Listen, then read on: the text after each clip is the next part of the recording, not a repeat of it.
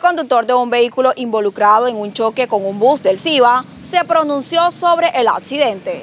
Bueno, normalmente yo todos los días tomo esa ruta porque esa hora entre 10 y 10 y media cojo la ruta de la calle que va de la papelería Tauro como que va para la iglesia del Carmen, que es una recta, no hay curva, es de ahí de la Tauro hasta allá es una recta.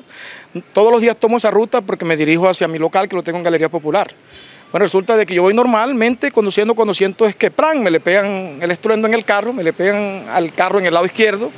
Yo freno, ya me doy cuenta que el señor de la buceta que está también frena, yo me bajo, me bajo sin muleta, porque yo soy una persona discapacitada, tengo 22 años de tener una discapacidad.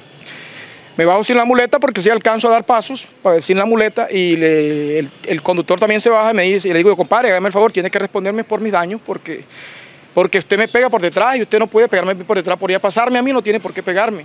No, que, que yo no te voy a pagar nada, que porque yo iba y que haciendo zigzag en la carretera.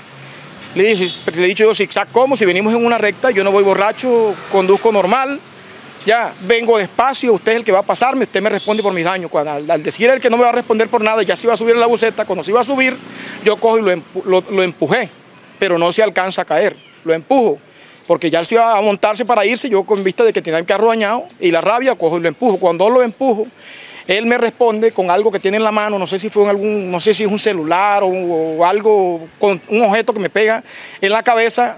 A mí se me baja hasta la vista, yo quedo, yo quedo hasta nublado cuando me pega en la cabeza. La gente me dice, mira, te está saliendo sangre. Cuando me, comienzo a, sacar, a, tocarme la sangre, yo en vista de que me vi con sangre, alterado, de que no me iban a responder por nada, mi reacción fue de que yo cogí y sí, ataqué, como ven en el video, eh, me fui contra la buceta y, dañé los dos parabrisas adelante, los dos limpia vidrio.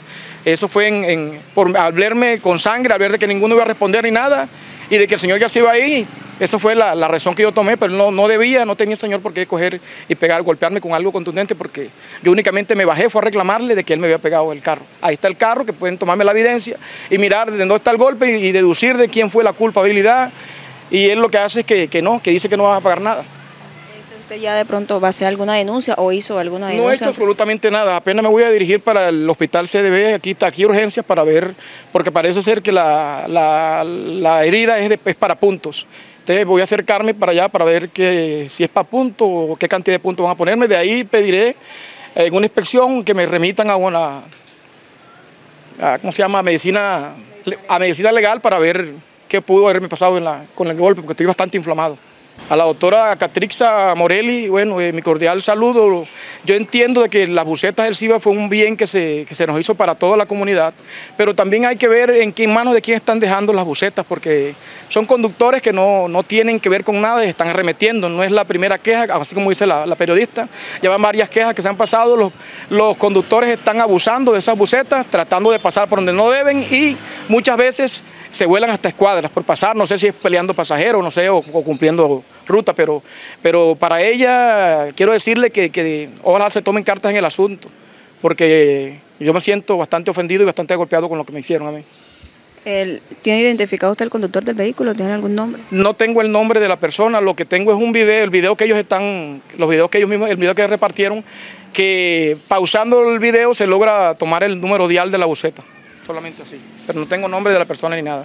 Eh, ¿Iba usted con otra persona con menor de edad en el Iba carro? con un hijo putativo que he criado de 17 años menor de edad, el cual cuando me, vio que yo estaba botando sangre, tiró también a, a insultar al señor y a meterse con el señor para que él respondiera, viste que me, vio partido y en vez de mis condiciones de discapacidad.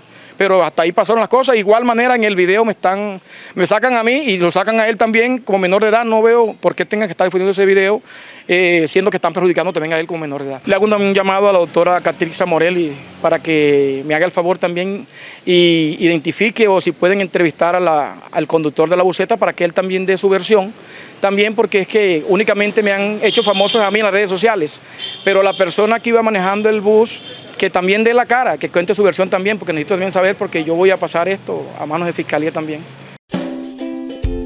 Human Pharma, soluciones farmacéuticas, una organización en la dispensación de medicamentos y dispositivos médicos. Estamos comprometidos con el desarrollo y servicio a nuestros clientes, los cuales se han convertido en nuestro mejor aliado Ofrecemos productos y servicios de calidad por un equipo humano con actitud de servicio. Mejora continua para los usuarios de nuestros aliados. Human Pharma.